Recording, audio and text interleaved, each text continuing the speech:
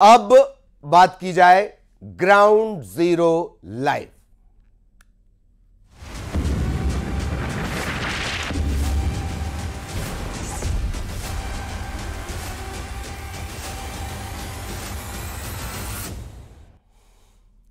तो अब शुरू होने जा रहा है सिलसिला आपके हक की बात का, आपके काम की बात का ग्राउंड ज़ीरो लाइव इसमें हम आज आपको दिखाएँगे आपके मुद्दे की बात. प्राइवेट स्कूल की मनमानी कैसे पेरेंट्स की परेशानी का सबब बन रही है?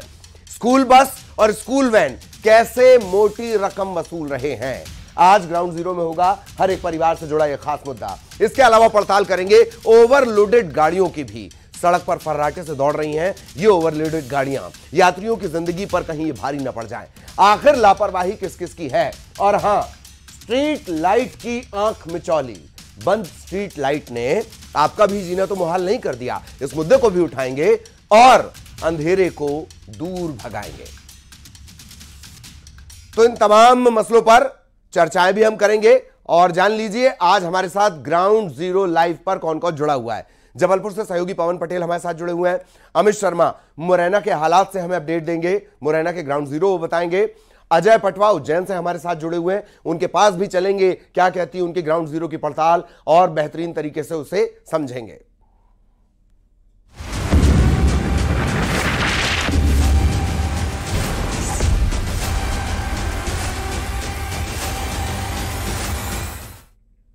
और सबसे पहले उस मुद्दे को जो सीधे आपकी जेब से जुड़ा हुआ है और आपकी ज़िंदगी से जुड़ा हुआ है। कैसे प्राइवेट स्कूल की मनमानी पेरेंट्स की जेब पर भारी पड़ रही है? प्राइवेट स्कूल, फ़ीस, यूनिफॉर्म, किताब, कॉपी, इनके नाम पर लूट मचाकर रखे हुए हैं। पेरेंट्स की जेब पर डाका डाला जा रहा है। जबलपुर में निजी स्कूलों की मनमानी के खिलाफ शुरू हुई मुहिम के चर्चे हर जगह हैं, लेकिन एक और मुद्दा है, और वो है, स्कूल बस और वैन के नाम पर वसूली जा रही है मोटी रकम। अक्सर तस्वीरें आती हैं, कैसे स्कूल बस और वैन में क्षमता से ज़्यादा बच्चे ठूंसे जाते हैं। नौनिहालों की जान से खिलवाड़ किया जाता है। स्कूल बस और वैन के नाम पर वसूली जो वसूली की जा रही है, वो फ़ीस नहीं है, बल्कि विशुद्ध लूट है, कमाई का ज़रिया है। अब जबलपुर पेरेंट एसोसिएशन ने इस मुद्दे के खिलाफ मोर्चा खोलने जा रहा है। मांग की जा रही है कि स्कूल बस और वैन के नाम पर जो ये वसूली हो रही है, उस पर ब्रेक लगना चाहिए। एक एक वैन और स्कूल बस का, अगर जो बड़े स्कूलों का देखें तो फेयर दो हज़ार से लेकर ढाई हज़ार रुपये तक रखा गया है। क्या एक बस के एक चक्कर लगाने में यदि अस्सी लोग सफ़र करते हैं तो क्या दो लाख, पौने दो लाख रुपए, डेढ़ लाख रुपए खर्च आ सकता है? ये एक अलग लूट चल रही है। इसके खिलाफ लोगों को आवाज़ उठाना चाहिए और माननीय कलेक्टर महोदय से मैं आग्रह करना चाहूँगा कि इस विषय को भी विशेष तौर पे ध्यान रखा जाए। और सीधे आपको लिए चलेंगे। पवन, हमारे सहयोगी इस वक्त आपको नज़र आ रहे होंगे। पवन, बहुत सारे इनिशिएटिव लिए गए थे। जबलपुर से ही खास तौर पर मनमानी को लेकर। और अब एक नया इनिशिएटिव ये कि मोर्चा खोला जाए और वैन और बस के नाम पर यह वसूली चलेगी नहीं। क्या कहती है आपकी ग्राउंड ज़ीरो की पड़ताल? जी। जी, ललित, बिल्कुल जबलपुर में अगर बात करें तो तीन किलोमीटर, पाँच किलोमीटर की डिस्टेंस पर ही स्कूल है। जबलपुर का दायरा अगर बात करें तो लगभग 100 किलोमीटर के दायरे में है, जिसमें एक हज़ार सैंतीस प्राइवेट स्कूल हैं। इसके अलावा सरकारी स्कूल साढ़े तीन सौ से ज़्यादा हैं। लेकिन सबसे बड़ी बात यह है कि स्कूल की फ़ीस और यूनिफॉर्म किताबों के अलावा स्कूल, बस, वैन, ऑटो के नाम पर जिस तरह से वसूली की जाती है कि लगभग 20 से 22 दिन हर बच्चा स्कूल जाता है। लेकिन उसके बाद भी पेरेंट्स को दो से ढाई हज़ार रुपए बस के लिए 1500 से 2000 रुपए वैन के लिए और लगभग इतना ही पैसा ऑटो के लिए खर्च करना पड़ता है जिसमें उनके बच्चे ठूस ठूस कर भरे जाते हैं, यानी ओवरलोडेड गाड़ियों में बच्चे सफ़र करते हैं। इस वक्त हम पेरेंट्स एसोसिएशन के मेंबर्स के साथ में हैं। नागरिक उपभोक्ता मार्गदर्शक मंच के सदस्य भी हमारे साथ मौजूद हैं। हम सबसे पहले जानेंगे पेरेंट्स से कि किस तरह की परेशानी होती है। स्कूल बैन और ऑटो को लेकर, बस को लेकर के क्या समस्याएँ आती हैं? कितनी फ़ीस लेते हैं? हमारे बच्चों की तो फ़ीस पंद्रह सौ व्हीकल की है और मैंने अभी ट्वेल्थ में है मेरा बेटा तो अभी मैंने निकाल दिया वो बोलते हैं कि अभी आपको नहीं मिलेगी फ़र्स्ट फैसिलिटी क्योंकि आपको लाना हो तो खुद बच्चा आएगा। तो मैं क्या है? निकालने की वजह क्या फ़ीस को लेकर के कोई मैं फ़ीस तो है ही फ़ीस तो है सबसे पहला तो मेरा फ़ीस का ही है। बाद में मैं व्हीकल का बोल रही हूँ फ़ीस सबसे पहले तो मेरी फ़ीस सही है। व्हीकल फ़ीस को लेकर दोनों चीज़ का। जी। तो ये पेरेंट्स हैं और क्या कहना चाहेंगे भाई साहब? वन वैन और बस में किस तरह से चार्जेज लगते हैं और क्या दिक्कतें आती हैं? देखिए जिस तरह से चार्जेस लगना चाहिए उससे कहीं ज़्यादा मात्रा चार्जेस लिए जाते हैं। साथ ही साथ कहीं ना कहीं हम ब्लैकमेल होते हैं स्कूल के थ्रू कि आपको इतने चार्जेस देने होंगे। उसी पर हमको फ़ीस देनी पड़ती है। उसके बाद स्कूलों का फ़ीस जो है जस्टिफाइड नहीं है किसी भी तरह से क्योंकि वो स्कूल फ़ीस जिस तरह का क्वालिटी ऑफ़ एजुकेशन है उसके अकॉर्डिंग फ़ीस बहुत ज़्यादा है। तो ये पेरेंट्स हैं जो कह रहे हैं कि फ़ीस बहुत ज़्यादा लेते हैं स्कूल वैन स्कूल बस के नाम पर। तो ये तमाम ऐसी समस्याएँ हैं जिनका सामना करना पड़ता है। नागरिक उपभोक्ता मार्गदर्शक मंच के सदस्य भी हैं। आपने तो कई बार याचिकाएँ लगाई हैं। आपका खुद का एक संगठन है पेरेंट्स का। क्या अभी तक सामने आया है और आपकी तरफ़ से क्या मांग की जाती रही देखिए सबसे पहले बताना चाहेंगे कि हमारी याचिका हाईकोर्ट में पेंडिंग है विगत छह वर्ष से। पवन ये ये चर्चा हम आगे दिखाएँगे वक्त की कमी है बहुत शुक्रिया आपका। ये आप लेकिन बातचीत करें आगे हम इसे दिखाएँगे। तो ये तमाम वो लोग हैं जिन्होंने मोर्चा खोला है इस बात को लेकर के किस तरह से मनमानी फ़ीस वसूली जाती है। धन्यवाद पवन का। और अब हम अपने सिलसिले को आगे बढ़ाएँगे ग्राउंड ज़ीरो लाइव। कुछ लोग जो बाज नहीं आते, कभी गाड़ियों के गेट पर लटके हुए नज़र आएँगे, कभी गाड़ियों के छत पर आसन जमाएँगे। इनके दिमाग में कोई लोड नहीं होता। बड़े मज़े से खुद की ज़िंदगी से खिलवाड़ करते हैं। अक्सर सड़कों पर दौड़ती ये मौत नज़र आती है। ओवरलोडेड गाड़ियाँ सड़क पर फर्राटा मारती हैं। बस हो, वैन हो, डग्गा मार वाहन हो, और अब तो ई रिक्शा का भी यही हाल है। तस्वीरें देखते जाइए। जल्द पहुँचने की जल्दी है। कितनी जल्दी है? और ये जल्दबाजी कहीं भारी ना पड़ जाए। मुरैना की अलग अलग तस्वीरें देख लीजिए। कोई एक तस्वीर, एक किसी एक गाड़ी का ये हाल नहीं है। हर जगह यही। जरा संभल कर चलने की ज़रूरत। परिवहन विभाग और यातायात पुलिस कितनी मुस्तैद है। उसकी भी तस्वीरें बयानी कर रही हैं। आरटीओ महकमा कहाँ है? वो भी देख लीजिए।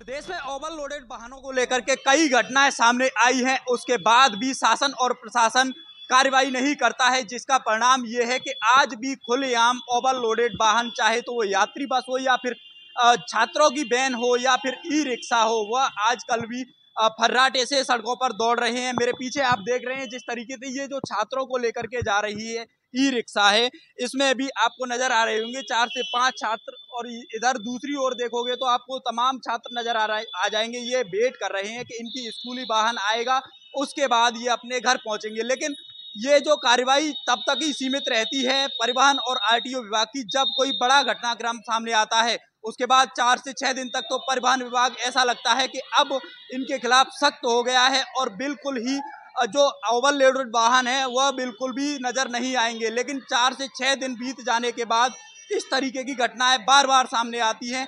इसका परिणाम ये है कि सिर्फ़ चार से छः दिन तक ये कार्रवाई नज़र आती है। अब देखना होगा कि खबर दिखाए जाने के बाद आखिर ये बस संचालक हैं और जो ओवरलोडेड वाहनों के ऊपर बैठ के सब यात्रा करने वाले लोग हैं, वह उनके खिलाफ क्या कार्रवाई करेंगे? यह एक देखने वाली बात होगी। अमित देखिए, कार्रवाई आरटीओ के द्वारा निरंतर की जाती रही है। पहले भी जुर्माना आरटीओ ने किया है। अभी भी स्कूल वैन से बच्चों को सुरक्षित रखने के संबंध में कार्रवाई की है, चालान की कार्रवाई की है, बावन वाहनों की जब्ती की है। जौरा रोड का कुछ वीडियो आपने मुझे दिखाया है, मैंने देखा है, वो निश्चित रूप से जोखिम भरा है, ऑटो के ऊपर सोकर जाना या बस के ऊपर बैठना। मेरी बात हो गई आरटीओ से, इस क्षेत्र पर पहले भी कार्रवाई हुई थी, पुनः कार्रवाई हम करेंगे। कार्रवाई तो इसमें ट्रैफ़िक की कार्रवाई काफ़ी अच्छी चल रही है और लगातार इसमें चालानी कार्रवाई कर रहे हैं। और ख़ास तौर से जो वीडियो अभी जो मुझे देखने को आया है, उसमें कुछ बसेस भी ओवरलोड दिख रही हैं, कुछ जो और जो लोडिंग छोटे वाहन हैं, वो भी ओवरलोड दिख रहे हैं, जो कि किसी भी प्रकार से एक्सेप्टेबल नहीं है और वो उसके विरुद्ध कार्रवाई सख्त कार्रवाई होने की आवश्यकता है। मैं थाना प्रभारी जो भी अभी वीडियो आया है, मैं उनको भेज भी रहा हूँ और ये इस पर कार्रवाई, सख्त से सख्त कार्रवाई होगी। और सीधे हम आपको ले आए हैं मुरैना। अमित शर्मा की रिपोर्ट भी आपने देखी। अमित शर्मा इस वक्त हमारे साथ जुड़े हुए हुए भी हैं। ग्राउंड ज़ीरो का जायजा भी आपने देखा, किस तरीके की स्थितियाँ। अमित, बड़ा हास्यास्पद लगता है। एक तरफ़ वो तस्वीरें हैं, ऐसा लगता है जौरा रोड की बात कर ली जाए, ये लोग आदतन इस तरह से ट्रेवल करते हैं। और दूसरी तरफ़ अपर कलेक्टर साहब और एएसपी साहब को सुन के लगता है कि मानो रामराज्य आ गया है, कहीं कोई किसी गाड़ी में ओवरलोडिंग है नहीं। इतने एक्शन और कार्रवाई वो कर रहे हैं। कोई तो झूठ बोल रहा है। अमित। अब बिल्कुल देखिए जो अधिकारियों का जिस तरीके से बयान सामने आया है उससे तो ऐसा ही लगता है कि ओवरलोड वाहन ज़िले में चल ही नहीं रहे हैं। लेकिन जो हकीकत है ग्राउंड ज़ीरो पर अगर देखा जाए तो हकीकत ये है कि प्रतिदिन हर वाहन देखा जाए, चाहे तो ई रिक्शा हो या फिर अन्य किसी वाहन की बात की जाए। मेरे पीछे पहले आपको तस्वीर दिखा दूँ एक बार। जिस तरीके से ये देखिए, एक डिग्गा मार वाहन है, वो किस तरीके से इस पे छोटे छोटे यानी कि 10 से 12 साल के जो लोग हैं, वो लटक करके सफ़र कर रहे हैं। तो एक तरीके से कहा जा सकता है कि ये आज भी ओवरलोडेड वाहनों का कारवा है, वो मुरैना में देखने को मिल रहा है, जिसका मुख्य कारण ये है कि जो बड़े घटनाक्रम सामने आते हैं, उस समय तो कार्रवाई देखने को मिलती है, चार से छह दिन तक बड़ी ही कार्रवाई होती है। ऐसा लगता है कि अब ओवरलोडेड वाहन हो या फिर यात्री बस हो या फिर यात्री से जुड़ी हुई अन्य वाहन हो इन सभी पर प्रतिबंध लगा दिया जाएगा लेकिन ये कार्रवाई सिर्फ़ चार से छह दिन तक ही दिखती है उसके बाद बिल्कुल। कार्रवाई नज़र नहीं आती है यही वजह है। स्कूली वैन हो या फिर अन्य यात्री वाहन हो वह सभी भारी मात्रा में छतों पर बैठान के ले जाते हैं तो कहीं अंदर भी इस तरीके से भर देते और ऐसा लग रहा है कि जो जो जिम्मेदार अधिकारी हैं उन्हें वो पिछले बार वाली कार्रवाई ही याद है। क्योंकि ऐसा नहीं है कि कार्रवाई कहीं हो रही है। हो रही है तो आदतन लोग इस तरह से लटक कर ओवरलोडेड गाड़ी में जाएँगे नहीं। बहुत धन्यवाद आपका इस तमाम जानकारी के लिए। सहयोगी अमित विस्तार से जानकारी दे रहे थे। और अगला एक और महत्वपूर्ण मामला। रात के अंधेरे में जब स्ट्रीट लाइट आँख में चौली करे, आँख में चौली छोड़िए, स्ट्रीट लाइट जिम्मेदारों की तरह आँखें बंद करके खड़ी हो जाए, स्ट्रीट लाइट की बत्ती गुल हो जाए, जिम्मेदारों की लापरवाही का खामियाजा भुगतेगा कौन? आप लोग। अंधेरे में हादसे का डर सताता है। उज्जैन के हम आपको हाल दिखाते हैं। जी, उज्जैन। पूरे दुनिया के टाइम मैनेजमेंट पहले यहाँ से सीखा जाता था। कैसे स्ट्रीट लाइट यहाँ बंद पड़ी हैं? नगर निगम के दावों की पोल खोल रही हैं। देवास रोड हो, इंदौर रोड हो, आगर रोड हो एम आर पाँच हो, मक्सी रोड हो, स्ट्रीट लाइट बंद पड़ी नज़र आएँगी। जिम्मेदार बारिश का राग अलाप रहे हैं। बंद स्ट्रीट लाइट की खबर लगते ही महापौर को मैदान में उतरना पड़ा।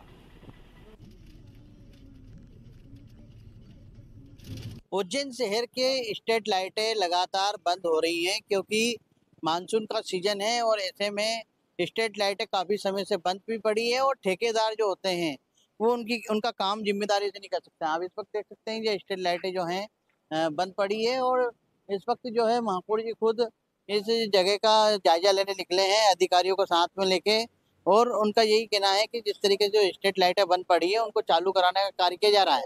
लेकिन जिस तरीके से अधिकारियों की ज़िम्मेदारी है कि उज्जैन शहर की जितनी भी सड़कें हैं, चाहे वो हाईवे हो, चाहे फिर वो सिटी का क्षेत्र क्यों ना हो जगह जगह स्ट्रीट लाइटें बंद पड़ी है, क्योंकि हम लगातार देखते आ रहे हैं कि स्ट्रीट लाइट बंद होने के कारण काफ़ी समस्याओं का सामना करना पड़ रहा है। ऐसे में मध्य प्रदेश में अधिकतर जगह यही समस्या का सामना देखने को मिल रहा है। Ajay Patwa news eighteen Madhya Pradesh. नहीं अभी तो बारिश का टाइम है और हवा के झोंके वगैरह भी चल रहे हैं जिसके कारण से लूज कनेक्शन वगैरह भी हो जाता है। देखने में आता है कि अधिकारी जो कर्म जो लाइट गुजारने वाले होते हैं वो समय पे ध्यान नहीं दे पाते हैं मेंटेनेंस पे ध्यान नहीं होता है जिसके कारण ये समस्या आती है।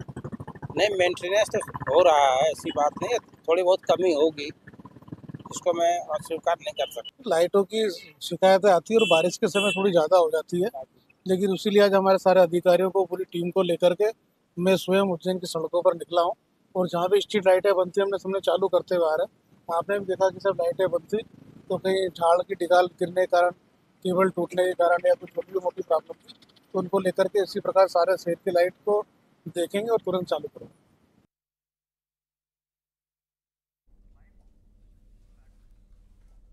और सीधे उज्जैन से सहयोगी अजय इस वक्त हमारे साथ जुड़े हुए हैं। कितने हैरत की बात है पूरी दुनिया जहाँ पहुँचती है, जो धार्मिक मुख्यालय बनने वाला है मध्य प्रदेश का, वहाँ स्ट्रीट लाइट नहीं जल रही हैं। अजय। जी देखिए, बारह ज्योतिर्लिंगों से एक महाकालेश्वर मंदिर है यहाँ पर जो चाहे कोटा से आने वाले लोग हों, या फिर रतलाम से आने वाले लोग हों, या इंदौर से आने वाले हों, या फिर मक्सी से आने वाले लोग हों। जैसे ही शहर में घुसते हैं तो अंधेरा दिखता है, स्ट्रीट लाइटें बंद रहती है ये सबसे बड़ा खामियाजा है, जो है नगर निगम के जो कर्मचारी हैं, वो ईमानदारी से अपना कार्य करें तो स्वाभाविक है कि लाइट समय पर मेंटेनेंस के द्वारा चलती रहे। लेकिन कई समय तक लाइटें बंद रहती हैं, जिसके कारण और फिर ये लाइटें ख़राब हो जाती हैं। नगर निगम के द्वारा टेंडर किया जाता है, नई लाइटें मंगाई जाती है फिर लगाई जाती है, फिर ख़राब हो जाती है। नगर निगम के द्वारा ये ज़िम्मेदारी से काम किया जाए तो ये नौबत ही नहीं आ सकती है। आखिरकार महापौर को खुद को मैदान में उतरना पड़ा और वो अपने साथ में विद्युत विभाग के अमले को लेकर चले और जहाँ जहाँ लाइटें बनती उनको चालू कराने का कार्य किया। हमने कई जगह पर जाकर देखा अधिकतर लाइटें बंद मिली। हमारे साथ में कुछ क्षेत्रवासी हैं उनसे बात करेंगे। शर्मा जी जिस तरीके से चलिए वक्त की कमी है। अजय मैं आपको रोक रहा हूँ। आगे आप ये चर्चा हम दिखाएँगे और ग्राउंड ज़ीरो लाइव में इतना ही। नमस्कार।